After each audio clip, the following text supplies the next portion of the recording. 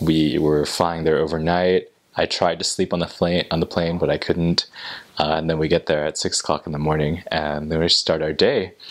Um, and obviously, you know, we go through some training, and then at the end of the day, I was just flat out tired. But we were supposed to teach a lesson, you know, in this mission. You know, we went out to see a family, and so teach them on that first day that we were there. And it's, I, was like, what, what am I supposed to do? I my new companion, it was trying to help me plan. He was telling me, oh, you know, what do you think we should do, Elder Tsai? And I was just like, I I don't know. Like, what is a good idea?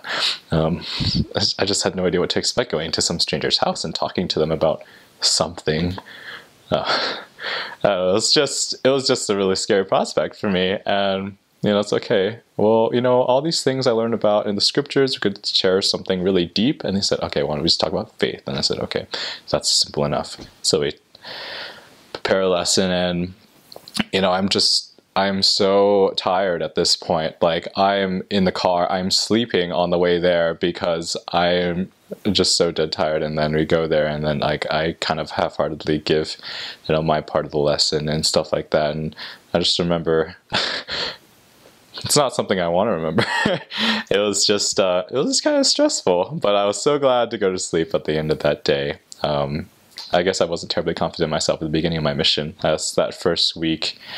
Um, I was really excited, but at the same time, it was pretty hard.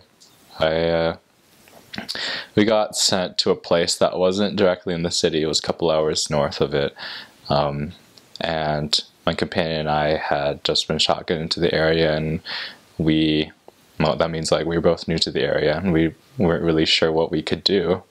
Um, and honestly, like those first few months that I was there, we didn't have very much success and I was just really confused about why I was there. You know, because first of all I had no idea what being a missionary was like and I wasn't sure if I was getting the experience that I wanted.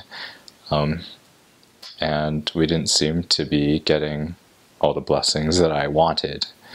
Um, but I think that's one of the things you have to learn at the beginning of your mission is that um, you know you don't get the blessings that you want usually. It's um, you just be patient and then you work really hard and then you're happy. Um, and so I, I became happy later. I realized that. I'm glad I stayed enough long enough to find that out.